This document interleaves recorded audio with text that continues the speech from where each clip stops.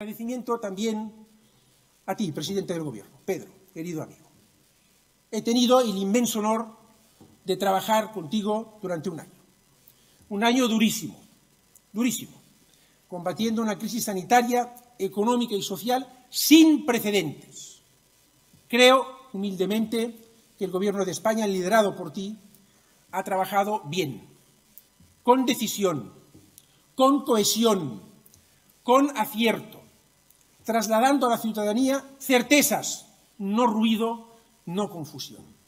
Y para Cataluña, desde el principio, desde el principio, tu gobierno, presidente, ha sido además una oportunidad, una oportunidad para abrir un nuevo capítulo en la política catalana, para superar el bloqueo en el que se ha instalado la política catalana. Muchas gracias. Bienvenidos a Con España Cuesta. ¡Qué pelota!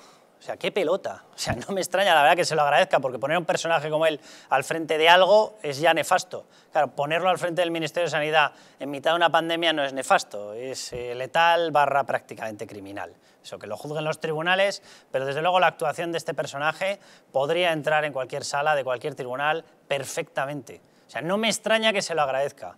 Vaya personaje. Desde luego debe querer muy poquito Pedro Sánchez a los catalanes para enviarles a semejante desastre de ministro y semejante desastre de candidato. Yo, solamente por enumerar algunas de las cosas, de las lacras que nos ha dejado este señor como ministro de Sanidad, no lo duden que seguirá teniendo influencia. Para algo el PSC está constituido como una entidad dentro de esa federación de partidos que es el Partido Socialista, para que tengan voz incluso cuando lo hacen peor, no, pésimo. Bueno, este señor un 24 de enero, ¿eh? un 24 de enero recibía la primera advertencia de su propio departamento, del centro de alertas de Fernando Simón. Sí, sí, debe ser la única vez que ha debido leer algo y lo ha debido trasladar. O a lo mejor es que lo hizo su gente. Más probable es la segunda opción, ¿verdad? Bueno, pues ese 24 de enero le alertaron ya de la gravedad de un virus que llegaba, que se llamaba COVID-19. ¿Vale? 24 de enero. Lo que hizo fue nada lo mismo que ha hecho durante todo el resto del mandato hasta que se ha marchado como candidato para las elecciones catalanas. Bueno, sí, ha hecho algo, ocultar cosas. Ocultar, no hacer e impedir a los demás que hicieran. El señor Salvadorilla fue el mismo que nos dijo que no nos preocupáramos de nada, que estábamos perfectamente preparados. De hecho, un 6 de marzo, dos días antes de convertir aquella manifestación del 8M en defensa, dicen ellos, de la mujer, no, en defensa de la mujer eh, estamos todos. Eso era en defensa del feminismo radical. Bueno, pues dos días antes de esa concentración que la convirtió en toda una sede de la infección, bueno, lo que hizo un 6M fue negarse a una compra centralizada de material anti-COVID ¿eh? en la Unión Europea. Se le ofrecieron los medios. ¿Qué hizo él todo chulo? Decir que no hacía falta. No, nada. Estuvimos durante todo lo peor de la primera ola sin que los sanitarios tuvieran mascarillas, sin que tuvieran guantes, sin que cualquier persona en la calle pudiera comprar mascarillas, sin que nadie tuviera las EPIs y les daba lo mismo. La policía, la Guardia Civil tuvieron que estar sin materiales de protección actuando, intentando controlar el virus. Así, así nos ha ido, así nos ha ido. Dice él que agradecen lo peor, lo peor para los demás.